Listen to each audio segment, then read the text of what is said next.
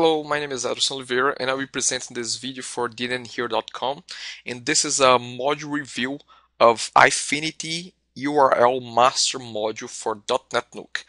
Uh, now here's my motivation to, to review this module. I have heard a couple of good things about this module lately and lots of people mentioning comment that they are using this module. So I said, you know what, I don't know this module, I have not used this module yet so let me give it a shot. So that's what we'll be doing now. Here's their website and I'm gonna use their free trial and they have two files. One is for the installation package and the other one is for the installation instructions. Let's download both of them. Okay, so I have now downloaded both files and just just to let you guys know the the idea of this module, behind this module, is to make the process of uh, rename of naming your UR the the site URLs much easier, so you can you can have uh, very meaningful URLs to your .NET for your DotNetNuke website for the page of your DotNetNuke website. So anyway, uh, the files are downloaded. Let's extract the instructions. So we have the instructions here. So here we have the installation instructions. Let's have a look at them. So some details here, the, the, the regular stuff that you should uh, be aware when installing any module. Do a backup of your web config. The installation process is pretty much the same as any other module. And of course check if there's any errors click return and check if there is if there's two new pages, one under host and one under, under admin. So let's go to our test website. This is our test website, which I'm going to module definitions and I will be installing the module. So let's click on browse. Here's installation, package, next, again, next. Accept license. Okay let's see if there's any error messages. No message installation successful. Let's click on return. Now let's see if the new pages were created under host. Yes first one friendly URL settings and under admin page URLs perfect. So both settings, both pages were created properly. Let's go back to the installation guidelines. So basically the next step here says that the URL uh, master module is not uh, enabled yet when by just installing the module. You have actually to go to host friendly URLs and here at the top it says that uh, the site is currently using the default URL friendly URL provider and if we want to start using the the iFinity module, uh, we need to apply changes at the bottom of this page.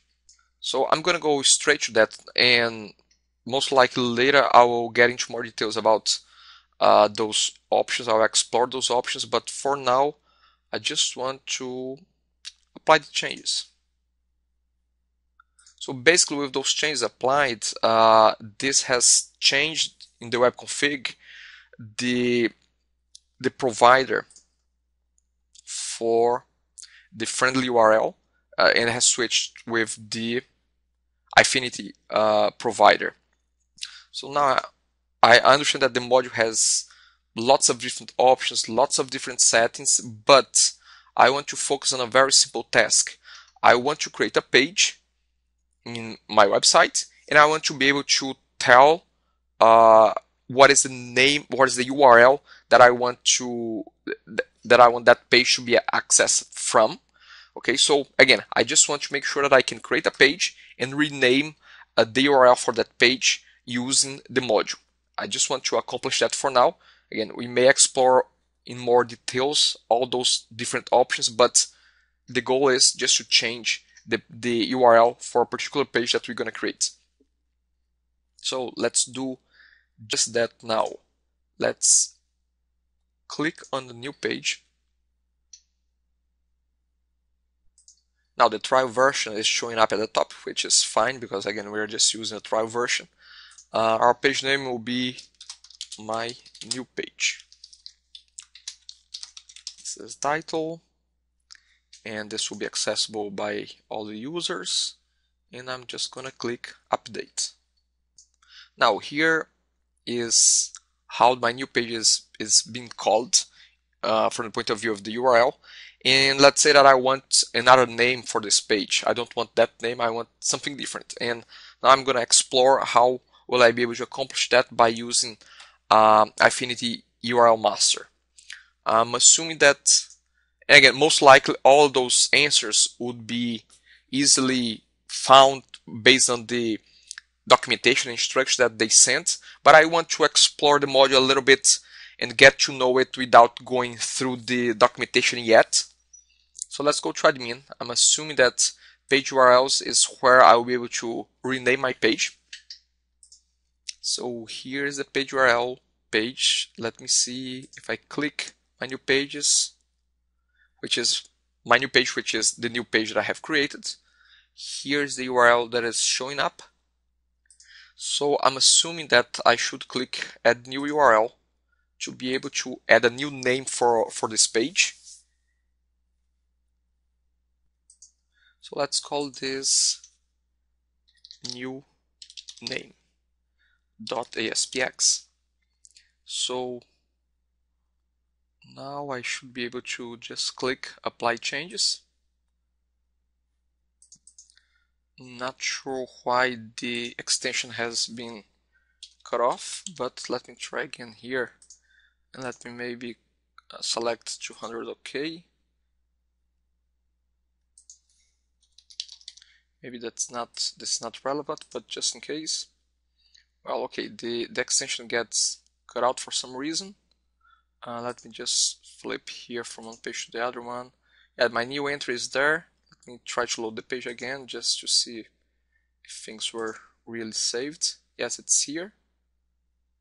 Okay, so page URL shows a new name now. So let's try to access from, let's try to access this page from another tab. So the page is coming up, it's coming up to, to my new page. So I was able to successfully rename well, I'm not sure if, if I have renamed actually or just created another way of accessing this page. I, am assuming that I can still access this page uh, via the, the original URL. Yep, so my original, the original URL is still running, still available. So um, I'm assuming as well that the menu system will be pointed to the, yes, to my new name. Perfect. So although the extension in the settings was cut off, but it's working quite well from the menu perspective. Let's go back there to the page URLs. So let's go back there. Yes, my new setting is here. And it says that this is a page URL and this is the one that will be used to build the, the menus. Now I'm not going to explore the fact that now I have two different URLs all point to the same page. So uh, I don't know if this should have if this should be a tree-oriented redirect or not, but I'll leave it as is. My my intention with this first video is not to go deep into this module. It's basically to to put it here just to give it a try, see if it does the, the very basic stuff which is I just I just tried to do. And I understand that there's a whole bunch of settings under uh, friendly URLs. Uh, and again, I will I'll explore some of those settings in uh, in another video. But this is for now just what I wanted to do. Tried to install the module. I was able to install the module trial version, and I was able to use it successfully to rename the page URL for a particular page. Okay, thanks. Bye for now.